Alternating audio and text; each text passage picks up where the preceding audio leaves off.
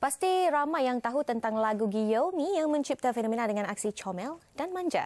Penyanyi asal lagu itu Hari berada di Kuala Lumpur baru-baru ini dan berkongsi hasratnya untuk berkecimpung dalam dunia lakonan.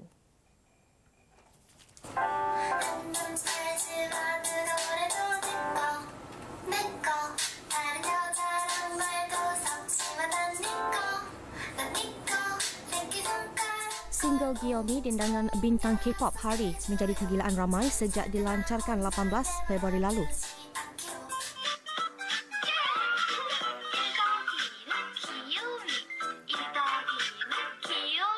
Aksi pemilik nama Jeong Sung Kyung ini dengan pantas menjadi ikutan termasuk selebriti tempatan seperti Nora Danish dan Wawa Zainal. Tidak mahu hanya popular dengan sebuah lagu, dia kini mempertahankan album Hangul Song untuk terus menempa nama.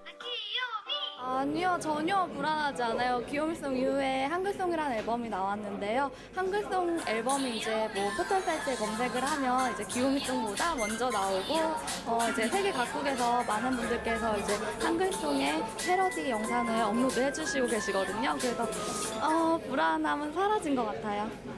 Pada masa sama, Hari turut menanam impian untuk berkolaborasi dengan ahli kumpulan Big Bang, G-Dragon.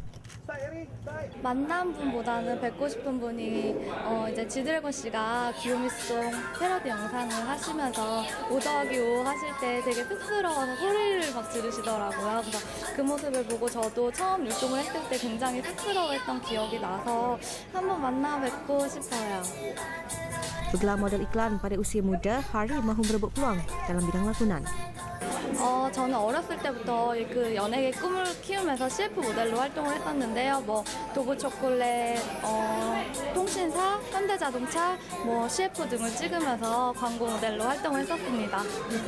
네, 저는 CF 모델로 활동했었기 때문에 연기도 조금 했었고 기회가 된다면 시도해보고 싶고 더 많은 모습들을 보여드리고 싶어요.